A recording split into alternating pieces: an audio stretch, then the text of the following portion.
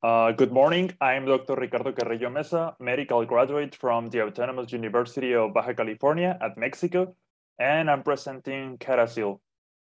Uh, CADASIL means uh, cerebral autosomal dominant arteriopathy with subcortical infarcts and leukoencephalopathy.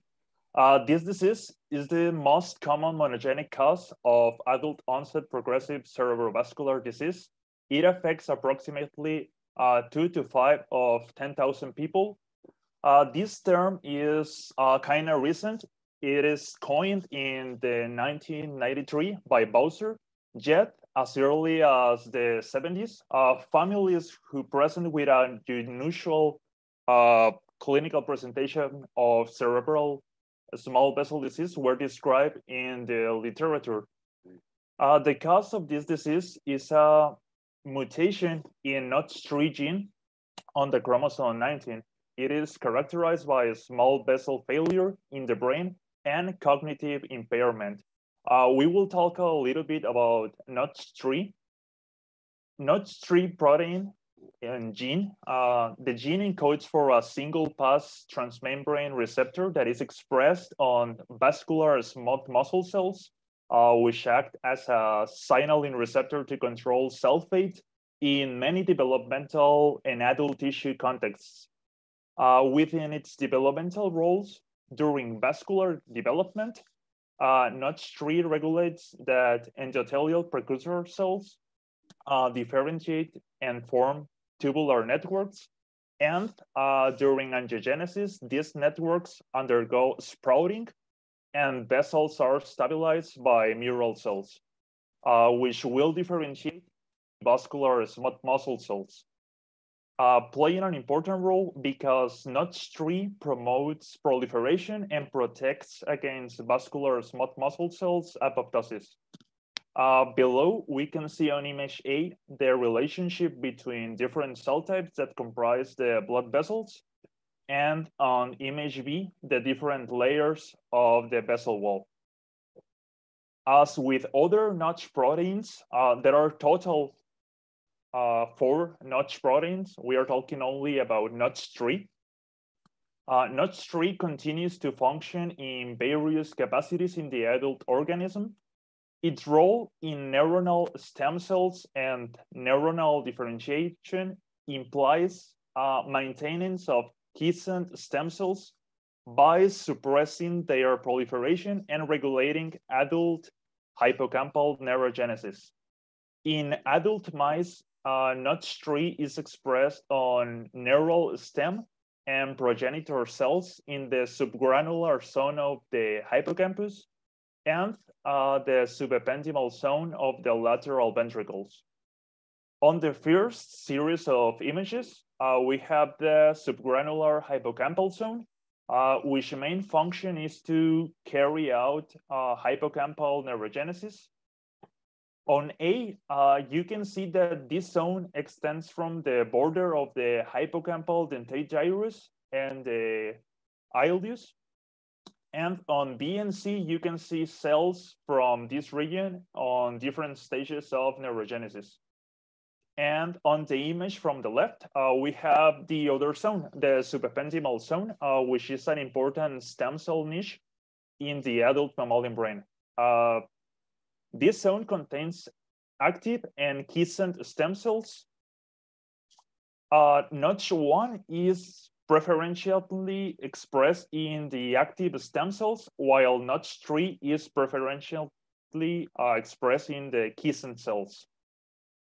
And although detailed analysis in human cells and tissues is still lacking, uh, this already suggests that that NOTCH3 might exert uh, regulatory influences on neuronal plasticity.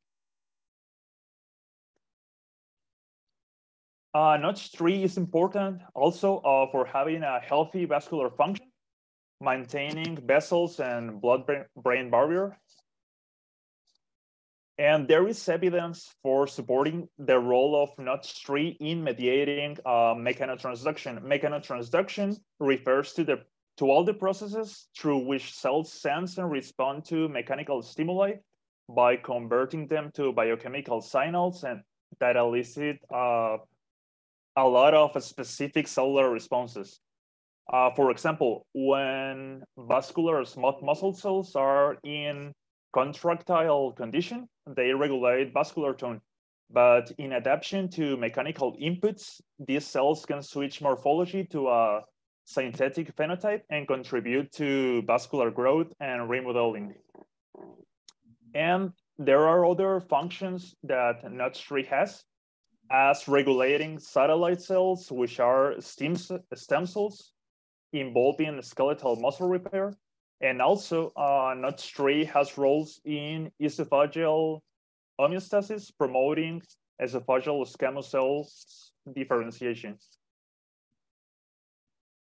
Uh, now, uh, considering the important role of notch signaling in vascular development and homeostasis, it is logical that dysfunctional notch signaling has been observed in a number of many vascular diseases.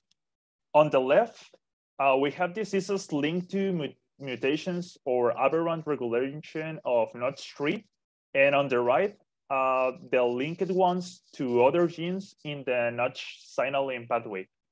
Uh, we can see that not that NOTCH3 is involved also in pulmonary arterial hypertension, child, childhood primary hypertension, patients with cerebral small vessel disease and white matter lesions, while the general notch signaling pathway is involved in cerebral cavernous malformations, neural tissue hemangioblastoma, thoracic aortic aneurysms, arteriovenous malformations, glomus tumors, and other diseases like the multi-organ diseases with vascular problems as Alagille syndrome and Adams-Oliver syndrome.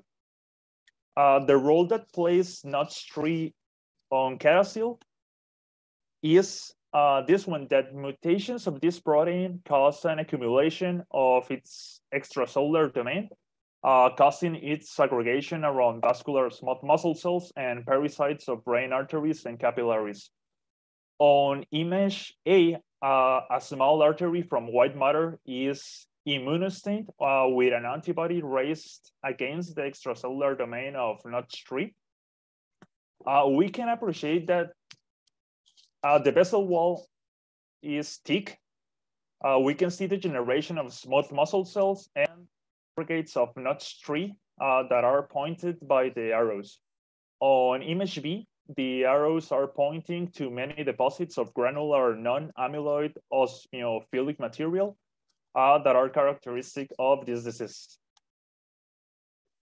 About its clinical presentation, all larger studies have demonstrated uh, that brain ischemia is the most frequent symptom in CADASIL it occurs uh, between uh, 50, 65%, up to 85%. Uh, being symptoms of focal brain ischemia, the most common complaint.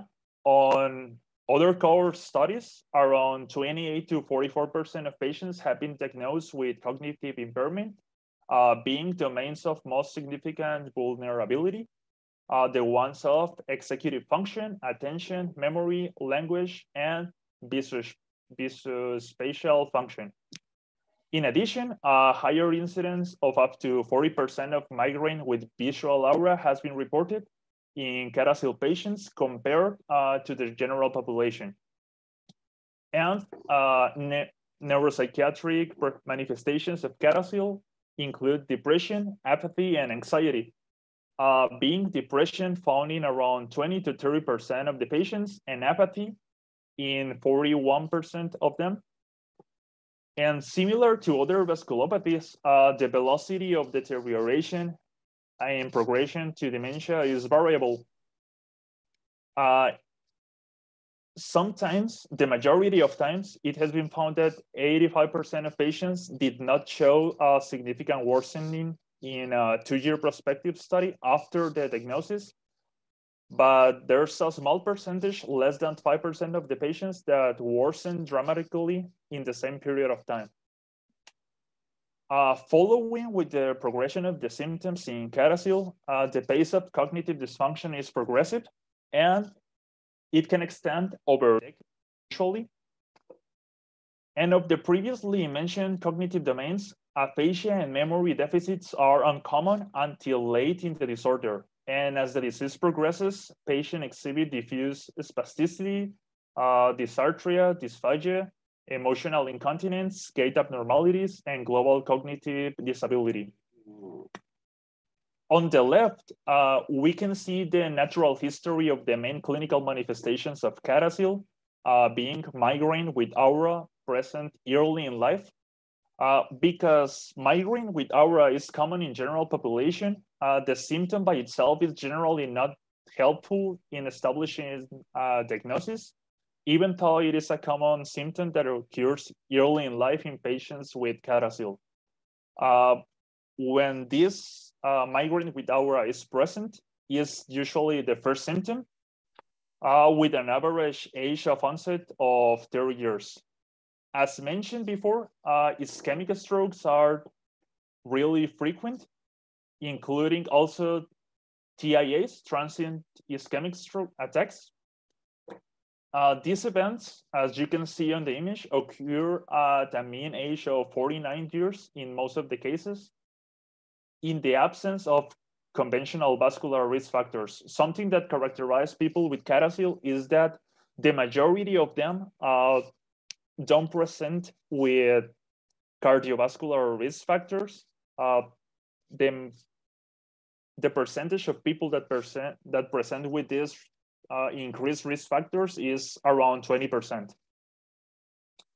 Uh, then uh, we have mood disturbances and apathy that generally are present as severe depressive disorders that sometimes alternate with maniac episodes that could be mistaken uh, for bipolar mood disorder until uh, the typical CADASIL abnormalities are seen on MRI. Apathy uh, will be characterized by absence of motivation that is associated with decreased voluntary behavior and is considered as a major clinical manifestation of CADASIL. Uh, by last, uh, cognitive impairment is the second most uh, frequent manifestation, being the early sign in most of the cases of impairment in these cognitive domains, and is characterized by executive function and processing of speed in a more slowly manner. Uh, cognitive decline will become more extensive with aging. As you can see, it progresses through, through time. It will worsen with the recurrent stroke.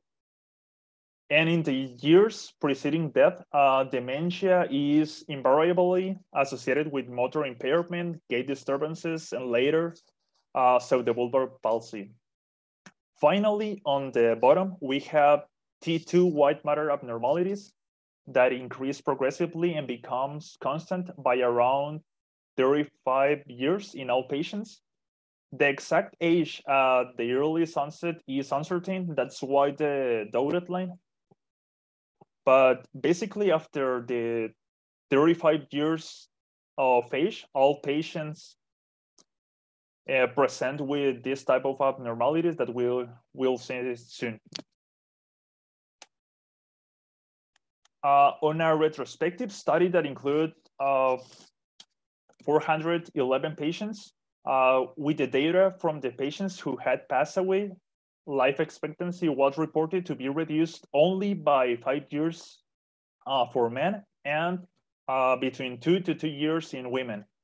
Uh, but if we looked at table four, we can see what the clinical status at onset of the causal death was, being frequent for the majority of patients, over the 70%, uh, to present spastic tetra or hemiparesis, dementia, dysarthria, dysphagia, urinary and fecal incontinence. And on table five, we can see what the primary causes of death were in 50 patients that information could be verified uh, being the most common cause uh, pneumonia by 36% if we consider pneumonia and, aspir and aspiration pneumonia as the same. And is followed by a sudden unexpected death with uh, 25%. The diagnosis of CADASIL uh, requires uh, radiologic and clinical correlation Although the severity and timing of symptom onset varies in CADASIL, it is a highly penetrant disease with a clinical and radiologic manifestations that present in the vast majority of patients uh, by late middle age. By late 35 years, uh, they will be present with these characteristics that we will see.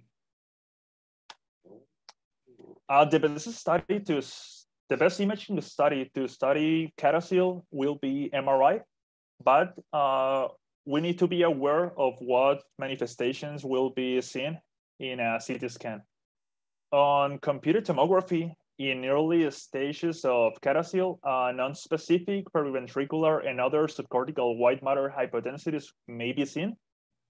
And the characteristic white matter disease will not be evident on computer tomography until more advanced stages of the disease. Uh, we can see on the first image, on image A, periventricular and subinsular white matter hypodensities.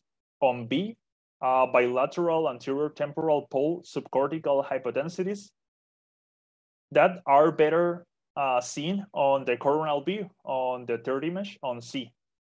Uh, these ones are from the same patient. And now uh, we will study MRI. Uh, brain magnetic resonance is the most clinically relevant imaging modality in CADASIL. In the early stages, uh, it will be similar to the CT scan, uh, we will see non-specific periventricular and other subcortical hyperintensities uh, seen on FLAIR, and that may be distinct from changes related to other small vessel diseases. However, on advanced stages, the typical presentation are confluent white matter FLAIR changes. Uh, we can see them on A and B images uh, we can see that there is abundant white matter and periventricular white matter disease. And on C, uh, we can appreciate involvement of the external capsule. And on images D and E, uh, we can see confluent anterior temporal pole white matter involvement. And on F, uh, subcortical microbleed is seen as a punctate uh, rounded hypointensity on fast field echo sequence. Uh, continuing with microbleeds on A, uh, we can see a small hypointense uh, foci on the brainstem, and on B, these microbleeds are in the thalamus. On CADASIL, we can also see uh, these lacunar infarcts uh, here we can see lacunar infarcts on image A in the pons, on B in the thalamus, and on C in the lentiform nuclei. Uh, the last lesion I want to show you is this one. Uh, here we can see multiple hypointense uh, lesions at the cortico-subcortical junction uh, that are lacunes related to dilated perivascular spaces. Uh, these lesions are the most specific features seen in CADASIL they are present in about 67% of the patients and are associated with the white matter hyperintensities we saw previously on the anterior temporal lobes. And now uh, we will review two CADASIL diagnostic criteria because this disease is not so prevalent. Uh, we don't count with many diagnostic criteria. The first one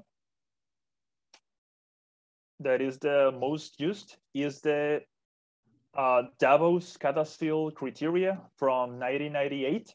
It has a sensitivity of 52% and a specificity of 66%. It is very simple to use. If you see it catalogs the diagnosis as probable or possible,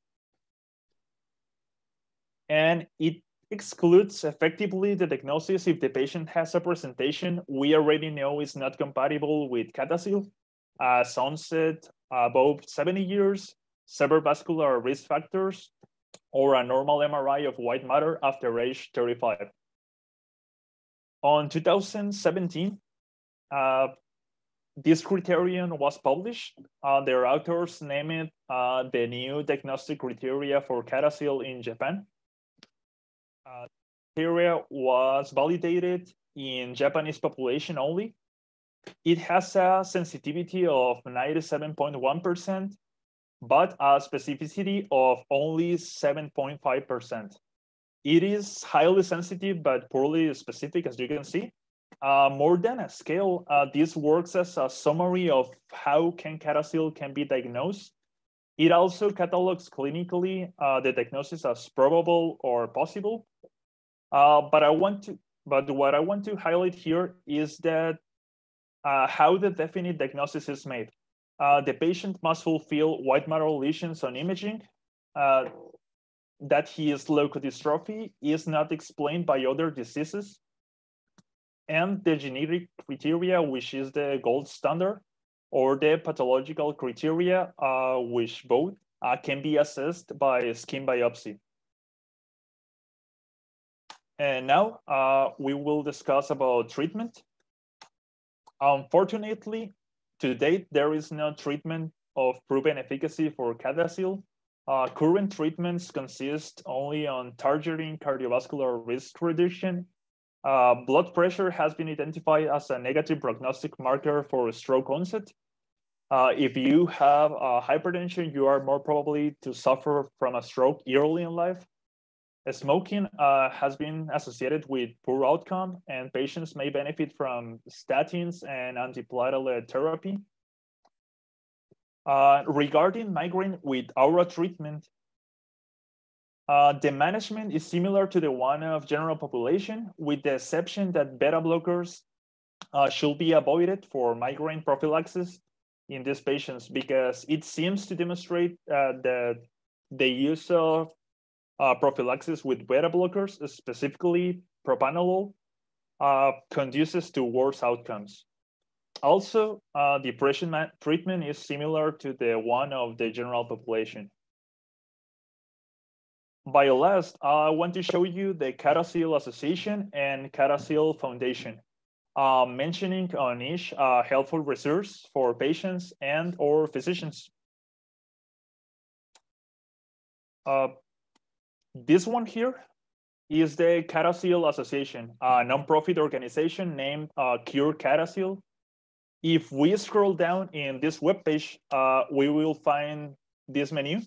And from this option, uh, let's click let's click uh, on find a provider. If we click on find a provider, uh, this map will show up, uh, providing you with a list that features clinicians based in the US uh, with information provided by community members. And as you can see on the list, uh, there are options for, for more than five patients. one example is the University of Washington Medical Center. And this one here is the CADASIL Foundation. Uh, this one is a nonprofit organization too. Its name is CADASIL Together We Have Hope. Uh, that unfortunately uh, has discontinued operations after 60, 16 years of work.